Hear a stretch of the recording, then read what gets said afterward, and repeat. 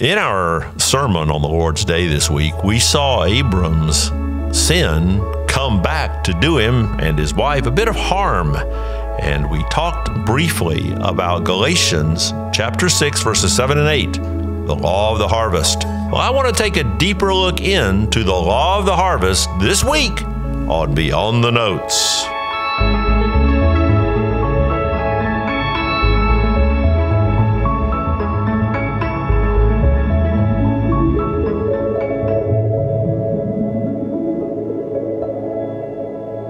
Passage at hand for this conversation on this episode comes from Galatians chapter 6, verses 7 and 8. Let me read them again right quick. Do not be deceived, God is not mocked. For whatever one sows, that will he also reap.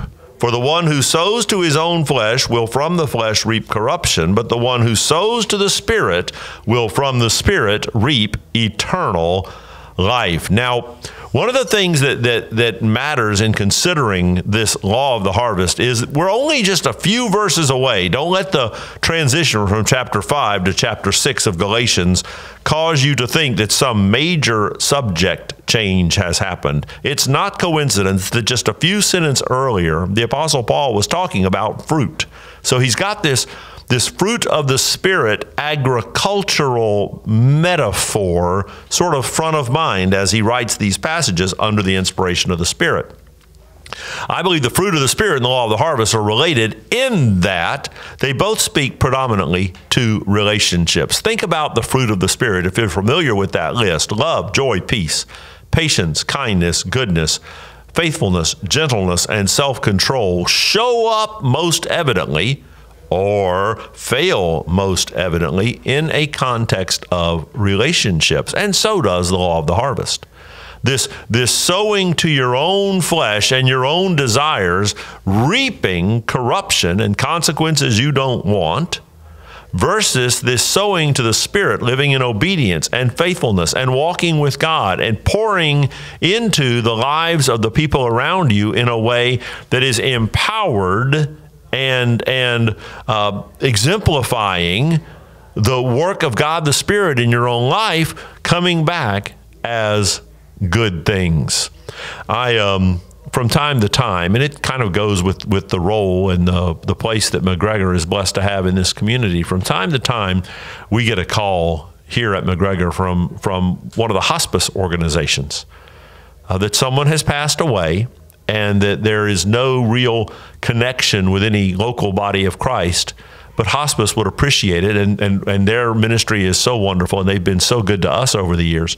They'll call the church and say, "We've got a we've got a memorial service day after tomorrow at ten in the morning in one of our chapels here, and and we just need somebody to come with a Bible and just share a word of encouragement in this memorial or funeral service in our chapel here at the hospice um, ministry."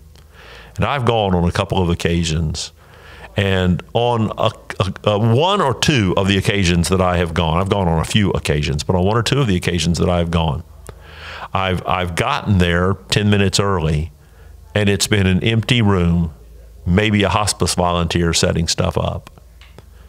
And the time comes to start the service, and it's just me and the hospice volunteer. And maybe, maybe there is a there's an there's an urn not to be too graphic because maybe the person's already been cremated. And it's me and a hospice volunteer and the deceased, the remains of the deceased. And I can't generalize about anybody's life, and I'm not trying to make this point too dramatically, but it always occurs to me in those settings to wonder wasn't there somebody? Now, I know you can't validate a life based on funeral attendance. I get that. But when funeral attendance is essentially zero, doesn't it beg the question, wasn't there somebody? The, the, the converse sometimes happens. Uh, you get a call to go to the hospital, and, and we, we do hospital visits here, and, and um, I, I, I also do hospital visits. And the word comes that, that some, some member of the body of Christ is in the hospital. And and this doesn't always happen this way, but this has also happened on occasion. You think, all right, I'm going to go, I'm going to go encourage that person. I'm going to be used of God in that person's life. I get to be, you know, strut down the hall in my ministerial credentials, and I'm going to bring joy and encouragement into their life because they got a visit from me. And you step off the elevator and head down the hall, and coming down the hall is a very unhospital like sound of laughter. On a couple of occasions, it's been the sound of singing.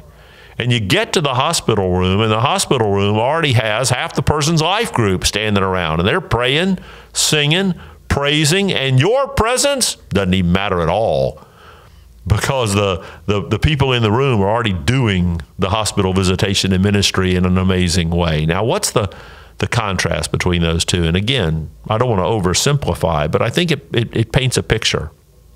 You wonder at that abandoned funeral, what was that person planting into the lives of people that this is the harvest? And you wonder, well, you don't have to wonder, in that overpopulated hospital room, what has that person been planting into the lives of those people in that room? Because see what you what you plant is what you sow. Now, three things about the law of the harvest, just in conclusion. Well, let me show you what the application of the law of the harvest is for the believer. If I press on into verse 9, look at what it says. Let us not grow weary of doing good, for in due season we will reap if we do not give up. Child of God, keep planting. Keep planting. I know it seems the harvest is a long way off. I know it seems to be sometimes lonely and misunderstood work. Keep planting. And remember this about the harvest. First thing, just out of the Word of God, you're going to reap what you sow. Ultimately, you will reap what you sow. Second, you will reap more than you sow. If all you got for planting a bean in the ground is one bean, nobody'd ever be a farmer.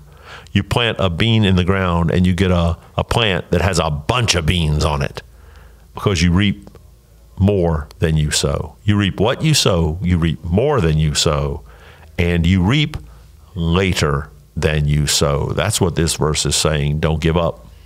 Keep sowing. Keep sowing. The law of the harvest is a warning that if you if you sow corruption, you'll reap corruption. But more even than that, the law of the harvest is an encouragement. Keep sowing. And by God's grace, in due season, we will reap if we do not give up. Hey, thank you for joining us on this episode. I hope that by now you are you are liking and sharing and inviting others into this little community we have here at Beyond the Notes.